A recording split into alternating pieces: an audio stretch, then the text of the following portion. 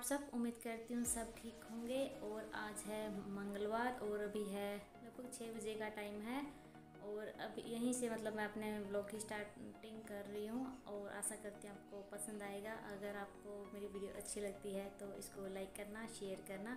अगर आप मेरे चैनल पर न्यू हैं तो please don't forget subscribe to my channel और बताइए कैसे हैं आप सब?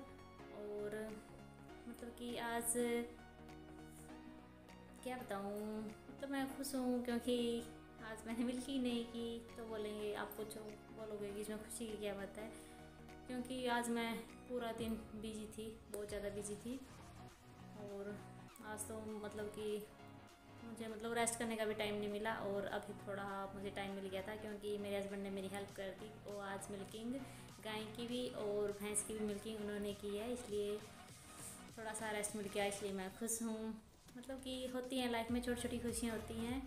अगर छोटी छोटी खुशियों से ही मतलब कि हमें बड़ी खुशी मिलती है और बस इसी से मतलब कि प्यार और सपोर्ट फैमिली में बना रहता है। इसलिए एक दूसरे को की हेल्प करना, एक दूसरे की केयर करना, यही तो अपनापन होता है। और आज मैं आपके साथ रूटीन शेयर करूँगी और उम्मीद करती हूँ आपको पसंद आएगा।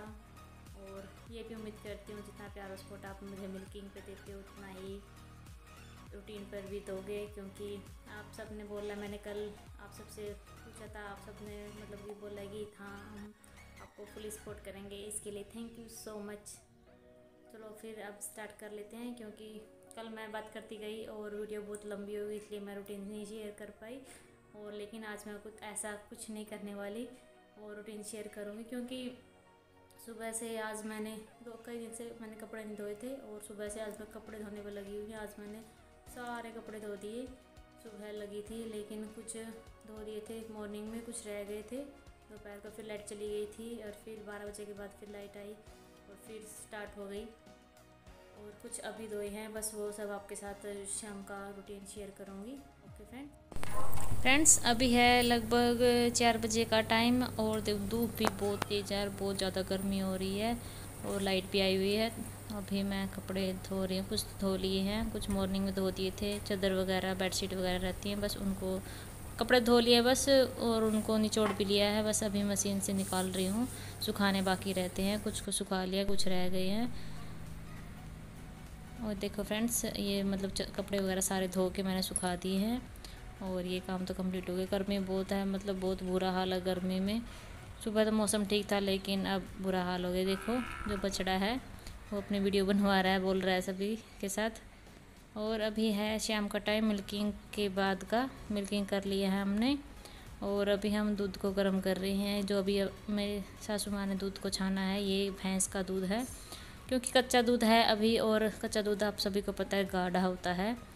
और अभी बोल रहे हैं कि वो, कि दूध बताओ कितना है। और मेरे हिसाब से मतलब सभी बोलते हैं कि होगा मतलब नौ लीटर के करीब होगा दूध, होना चाहिए इतना तो।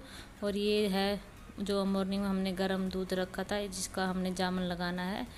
और कुछ मतलब इस दूध में से भी हम इसमें डाल देंगे, क्योंकि इतना दूध पीने में तो यूज़ नहीं होता।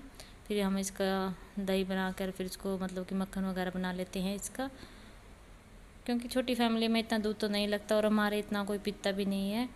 मुझे तो बिल्कुल भी पसंद नहीं है और भैंस का दूध तो मुझे बिल्कुल भी पसंद मतलब कि अब हम चाय बनाते हैं भैंस के दूध की तो मुझे अच्छी नहीं लगती। मैं अपना पीती हूँ शाम के टाइम, सिर्फ़ चाय के टाइम ही पीती हूँ मैं दूध। तो मैं गाय का दूध पीती हूँ अब भी। और चाय तो हम फिर भी भैंस के दूध से बना लेते हैं, लेकिन पीती तो मैं गाय का ही हूँ। मुझे गाय का दूध ज़्यादा अच्छा लगता है भैंस के कंपैरिजन में। अभी हम छान रहे हैं और फिर इसको गर्म करना है, क्योंकि कच्चा दूध है, कच्चा दूध ऐसे तो पिया नहीं जाएगा, इसलिए गर्म करके, ठंडा करके फिर पी लेंगे। और ये दूध है गाय का, क्योंकि गाय को काफ़ी टाइम हो गया। छः महीने के करीब हो गया दूध देते हुए, इसलिए इसका तो ऐसे ही जामन हो जाएगा। लेकिन कच्चे दूध का जामन अगर हम गर्म नहीं करेंगे तो वो दूध का मतलब जाम, दही नहीं बनेगी उसकी, ऐसे ही रखा रहेगा। इसलिए इसको पहले गर्म करेंगे और फिर ठंडा करके फिर ओस देंगे इसको, और फिर जामन हो जाएगा इसका, और फिर हम सुबह इसको बिलो लेंगे और इसको गर्म कर देंगे पहले। और अभी मैं आ गई हूँ बाहर बाहर का दिखाती हूँ। ये देखो, सूर्य देवता भी अस्त होने वाले हैं क्योंकि उनका टाइम हो गया है अभी अस्त होने का और हम काट रहे हैं अभी जवार, वो भी दिखाऊँगी मैं आपको। पहले एक बार मैं दोबारा से आग जला कर आती हूँ।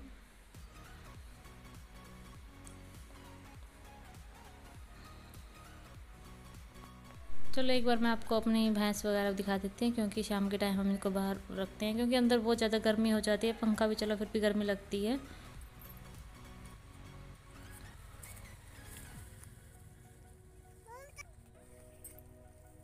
आजा।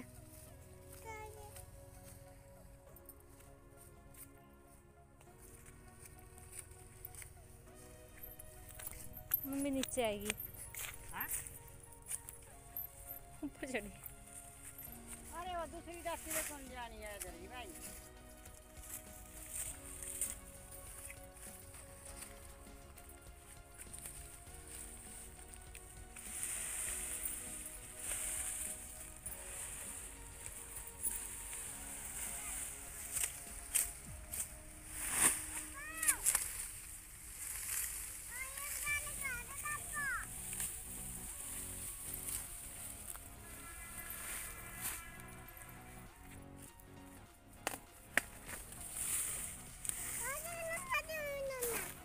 क्या करोगे?